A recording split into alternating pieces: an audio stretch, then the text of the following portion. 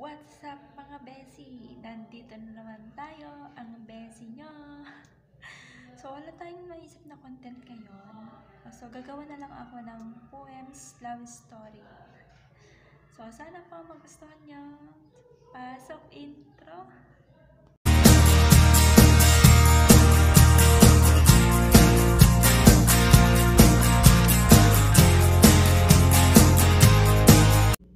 Sabi nila, kalimutan ng nakaraan para makausad papunta sa kinabukasan. Pero para sa akin, harapin ang nakaraan para wala nang lilingunin pa pagdating ng kinabukasan.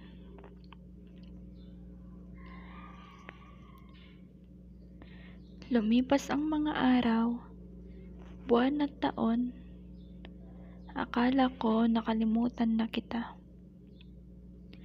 Akala ko kaya ko nang mabuhay nang wala ka. Akala ko magiging masaya ako. Akala ko di na kita iibigin. Pero niloko na pala pati sarili ko. Dahil puro akala lang ako.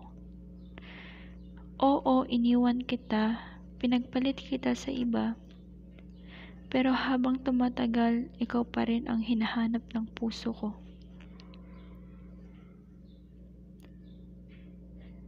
Presence mo pa rin ang hinahanap-hanap ko. Ikaw pa rin ang namimiss ko.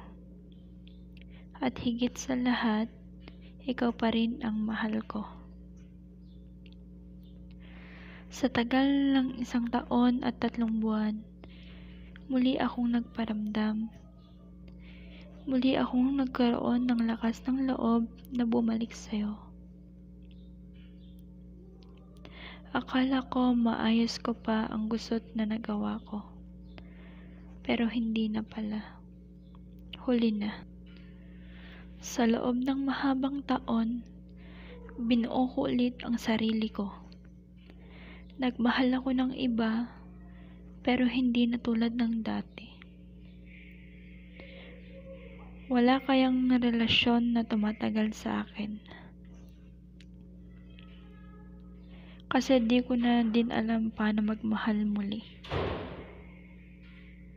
Mahal, naaalala mo pa ba? Naalala mo pa ba yung tayo pa? Ang saya nating pareho, di ba? Yung tipong walang makakapaghiwalay. Naalala mo pa ba? Nagagalit ka pag di kita agad na-replyan? Naalala mo pa ba yung unang love letter ko sa'yo na itinago mo pa ba? Naalala mo pa ba na sabay tayong kumakain? Sabay tayong natutulog na magkahawak kamay pa? Naalala mo ba kung saan ang lakad mo, lagi mo akong kasama?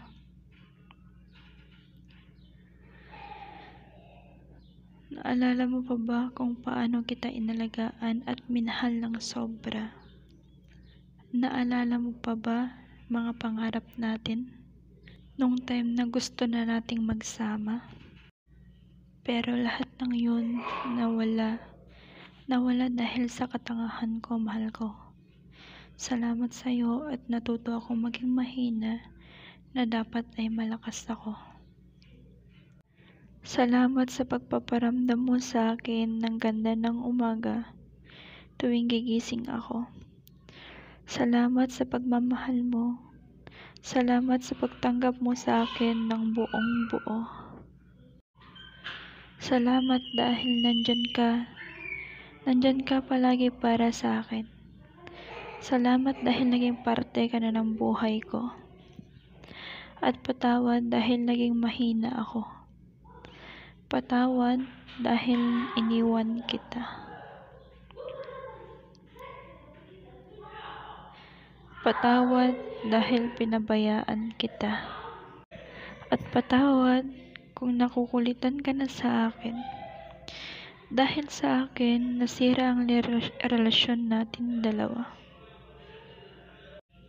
Alam ko di sapat ang mga salitang yan para mapatawad at bumalik ka lang sa akin. Pero umaasa ako na balang araw, mapapatawad mo ako.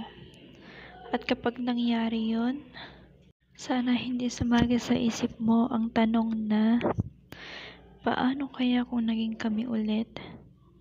Paano kaya kung pinatawad at binigyan ko siya ng pagkakataon para makabawi?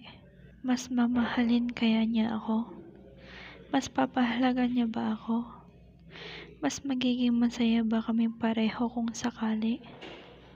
O salamat dahil di mo ako iniwan at di ko rin siya makikilala. Masakit man pero wala akong hinihiling at hihilingin sa'yo.